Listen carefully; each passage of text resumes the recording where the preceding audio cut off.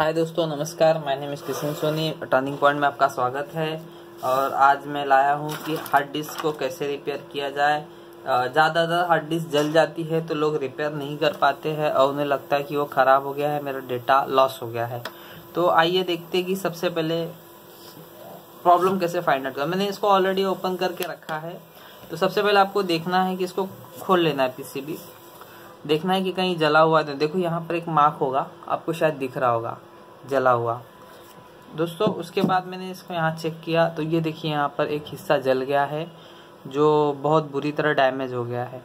तो हमें लगता है कि सर ये हो नहीं पाएगा। तो हम सबसे पहले क्या करेंगे अल्टरनेट सेम हार्ड डिस्क हम एक ढूंढ लेंगे और उसको हम खोल लेंगे। दूसरा हार्ड पीसी भी खोल के रखा है और ये देखिए, इसका same PCB all one sixty G का ही मैंने लिया हुआ है सीकेट का।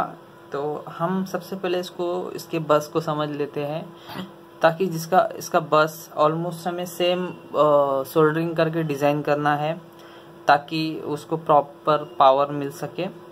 तो ये देखिए, यहाँ पर आप देख सकते हो कि इसके कैपेसिटर्स लगे हुए कभी कभी हमारे पास कैपेसिटर्स नहीं होते तो हम इसके जगह पे हम डायरेक्ट सोल्डर भी कर देते तो हमारा डेटा निकलने तक का काम हो जाता है। और ऐसे मैंने काफ़ी हार्ड डिस्क में किए हुए हैं। अगर आपको इसमें डाउट है तो आप एक कोई पुराना हार्ड डिस्क जो खराब हो, उसमें से आप वो कैपेसिटर निकाल के इसमें डाल दीजिए।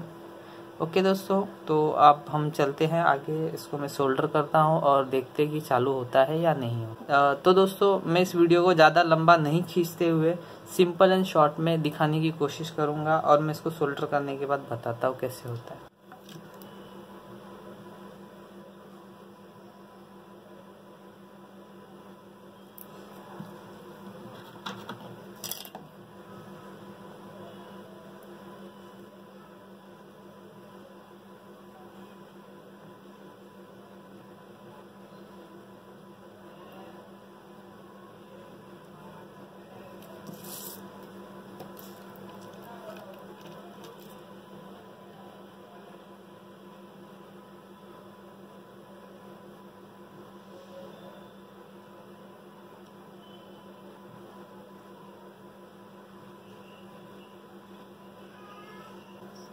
मैंने डायरेक्ट सोल्डर लगाया है। आप चाहे तो आप एक कॉपर वायर आती है जंपर वायर जिसको बोलते हैं, आप डायरेक्ट वो भी लगा सकते हो।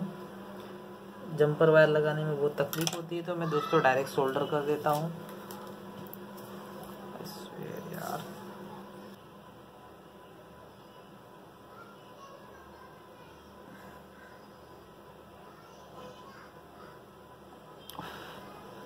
तो दोस्तों आई थिंक सो मेरा ये ज्वाइंट हो गया है। तो हम सबसे पहले इसको टेस्ट करेंगे अपने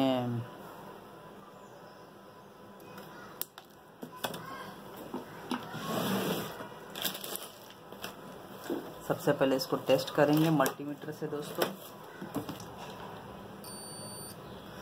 तो ये बीप साउंड आ रहा है। ओके हम इसको एंड टू एंड चेक कर लेते हैं। यस गुड दूसरे लाइन में कनेक्शन नहीं है, तीसरे लाइन में भी कनेक्शन नहीं है।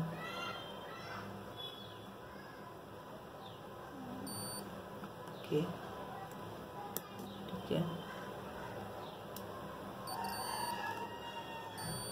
ओके तो मैंने फ़र्स्ट वाला भी क्रिएट किया है। हम इसको भी चेक कर लेते हैं। अब मुझे थर्ड में नहीं मिल रहा है, जो मैंने किया हुआ है। तो counting number one two three counting number one two three और दोस्तों, ध्यान रखना बहुत ज़रूरी है कि और सेम टू सेम पीसीबी होना चाहिए। तो इसका जंपर ठीक से बना नहीं है मेरा। तो मैं इसको थोड़ा सा फिर से मॉडिफाई करूँगा ताकि मेरा काम बहुत आसान हो जाए।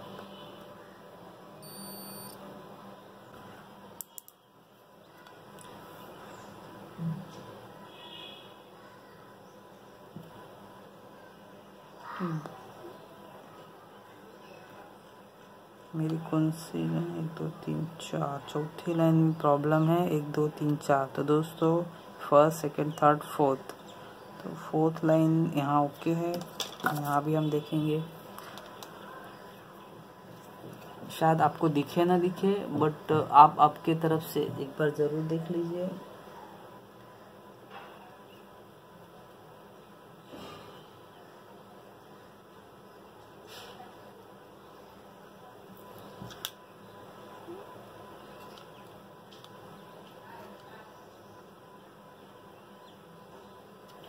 ठीक है दोस्तों, ये मुझे दिखाई तो नहीं दे रहा है, पर फिर भी मैं इसको सोल्डर कर देता हूँ।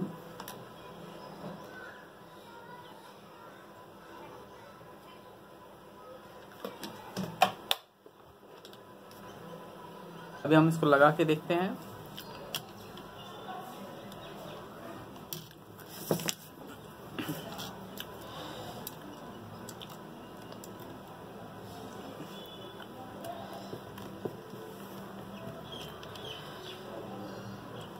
दोस्तों, मैं यहाँ से सारे वीडियो कंटिन्यू रखूँगा। ऐसा ना लगे कि मैंने कोई दूसरा हार्ड डिस्क लगा के प्रैंक किया है।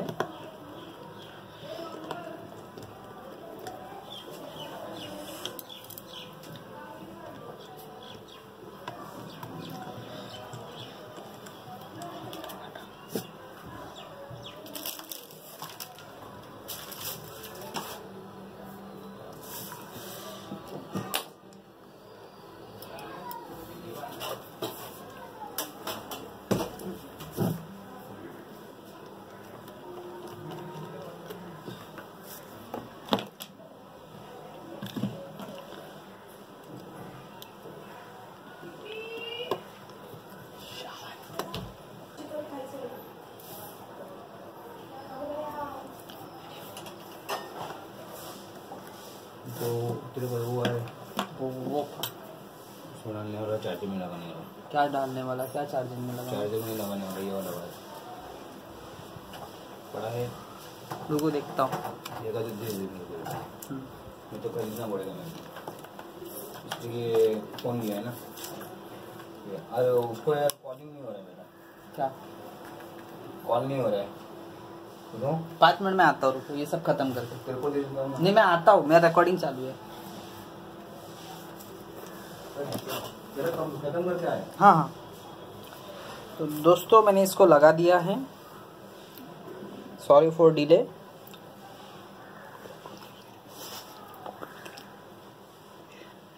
तो मैं इसको पहले ऑन करूँ।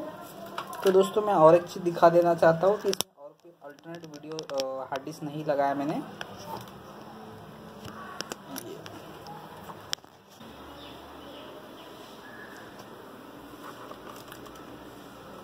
हार्ड डिस्क टूल में सेंटर ये मेरा फेवरेट टूल है, जिसके थ्रू मैं हमेशा चेक करता हार्ड डिस्क मेरा वर्केबल है या नहीं।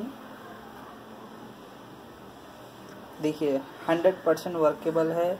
और वही हार्ड डिस्क है, इसका आईडी देख लीजिए और मैं इस हार्ड डिस्क का भी आपको फ्रंट आईडी दिखाता हूँ। पहले मैं इसको स्विच ऑफ़ कर देता हूँ ताकि डायमेंशन की वजह से हार्ड डिस्क में एरर ना आए। आपने हार्ड डिस्क का आईडी देख लिया है, अब इसकी फ्रंट आईडी भी आपको दिखा देता हूँ। सेम हार्ड डिस्क है। ठीक है। और मैं इसको वापस आपको खोल के दिखा दूँगा ताकि ऐसा ना लगे कि मैंने कहीं बीच में मिसमैच किया है।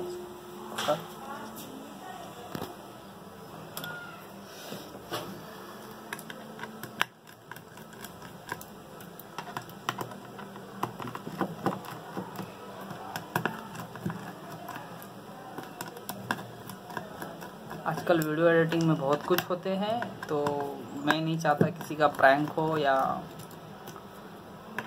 और दोस्तों रियली इट्स टू वर्क ये देखिए दोस्तों वही हार्ड डिस्क है। मैं फिर से लगाता हूँ, फिर से ऑन करता हूँ और मैं इसको इस बार अपने मिनी एक्सपी में चालू करूँगा। ताकि इसके सारे डेटा आपको दिख जाए।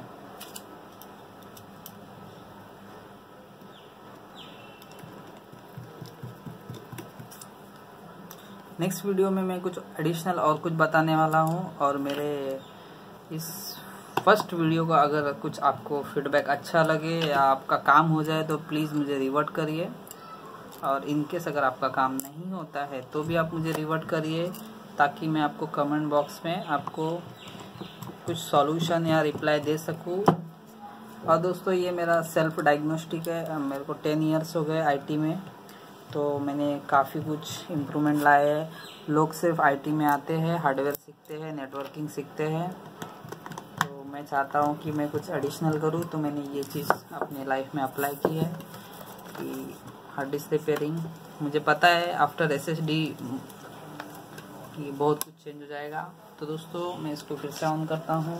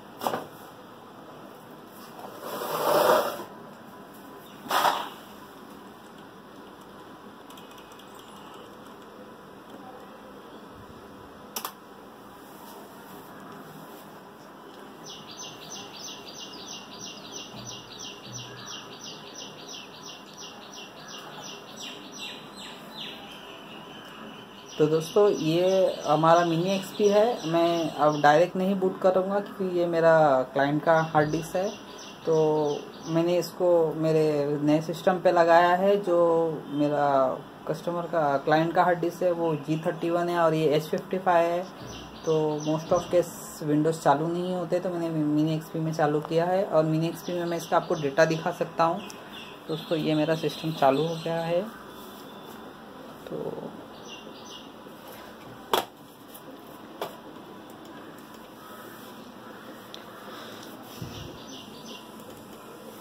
ये देखो दोस्तों, इसके डेटास ये हार्ड डिस्क के डेटास तो